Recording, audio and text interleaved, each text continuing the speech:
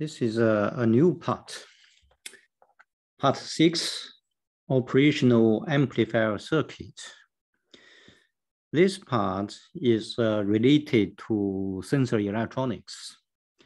Now with the sensor electronics, the most uh, circuits um, not really individual voltage source, current source, resistor, capacitor, inductor, but based on operational amplifier circuits. This is why I include uh, this part for sensory electronics. So we start uh, from um, amplifier. Amplifier is a device to enlarge signal from a small signal to a larger signal, say from a millivolt or even micron volt to a voltage level uh, so that we can use ADC to convert into digital form, for example.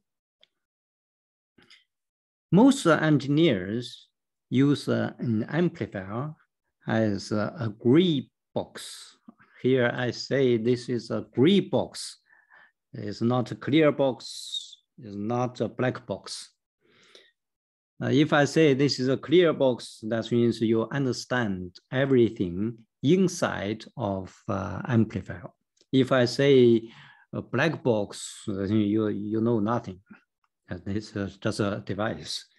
So here I say this is a gray box. That means from an application point of view, you should have a sufficient knowledge how to choose amplifier, how to use amplifier, how to um, uh, use it for your purpose, right? You may not know detailed circuit inside integrated circuit chips, but you know the general principle, you know how to use it. But we can de design operational amplifier circuits simply by considering their static and dynamic behavior. In terms of a relationship between output and input, amplifier can be categorized to two groups. Group one is a linear amplifier, is commonly used. The group two is a non-linear amplifier, such as log amplifier. So in the past, non-linear amplifiers quite uh, common, but these days, non-linear amplifiers is very rare because people use um, uh, such as a microcontroller, use a computer, use other means to implement non-linear function. So in the following, mostly we discuss uh, uh, linear amplifier. Uh, only a small part we, uh, we have to learn some nonlinear function. Typically, an operational amplifier has eight pins and powered by positive and negative power supply usually is by plus minus 12 or plus minus 15 volt. Some amplifiers even use a plus minus five. Some amplifiers even uh, just between five and zero, you know, single ampli single uh, power supply. But more commonly is a plus minus 12 or plus minus 15. Here I show you um, a diagram this is um, operational amplifier. This is a uni universal. For all operational amplifiers, we can use uh, this uh, symbol. Here you have uh, two inputs. There's a negative input, positive input. By the way, almost all operational amplifiers, their definition in pin is the same. This is the pin two, pin three, pin seven for power supply, positive power supply. Pin four is for negative power supply. and pin six. pin six is uh, output. Almost all operational amplifiers adopts this, uh, this uh, definition. Uh, here is a summary, pin two inverting input, pin three non-inverting input, pin six output, pin four negative power supply, pin five, pin seven positive power supply. Some operational amplifiers make use of uh, pins one and five for null purpose. That means um, you make use of pin one, pin five, you can adjust uh, zero. Uh, but these days, it is not um, not common to uh, to have uh, those two pins. Right. The basic function of uh, operational amplifier obviously is to amplify uh, signal. For this is to amplify the difference between three and two. Uh, this is a positive input, that is a negative input. You have a two input. It's to amplify the difference between the two inputs. If we use an equation, we can use VO equals A times VP minus Vn. So back to this uh, diagram, this is uh, A. The inside, you have uh, open loop gain. This is uh, A we call the open loop gain.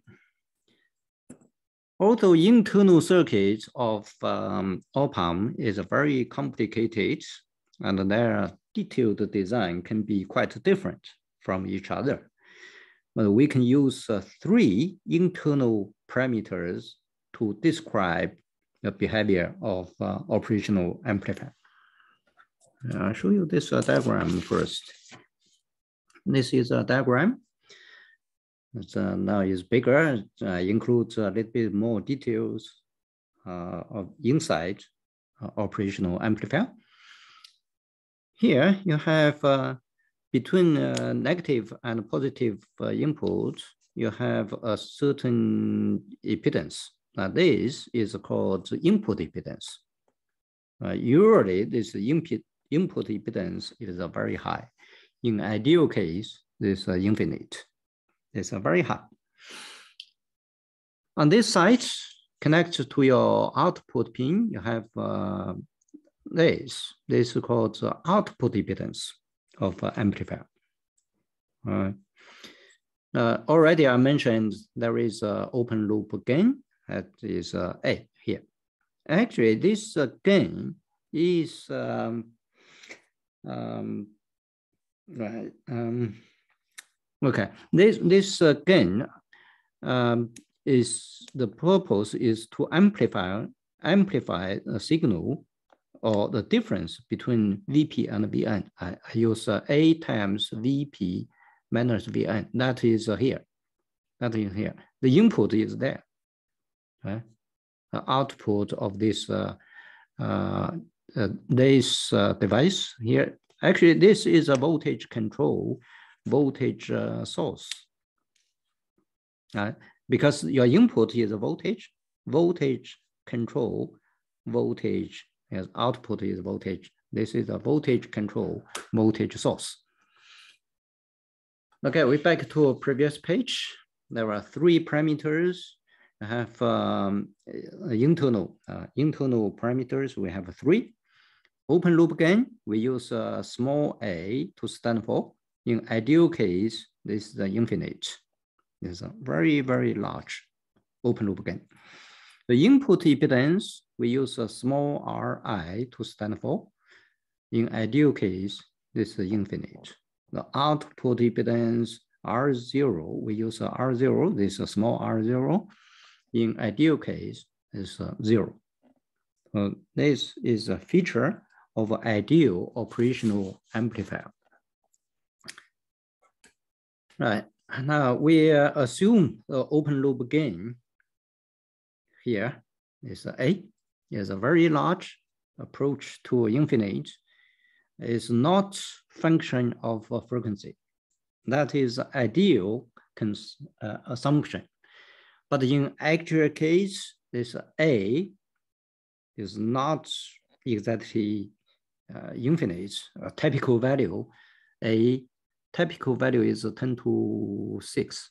That means uh, 1 million times, uh, 1 million again. Uh, you have a very small signal, you have a 1 million uh, amplify, and uh, you have a relatively uh, very large uh, signal output.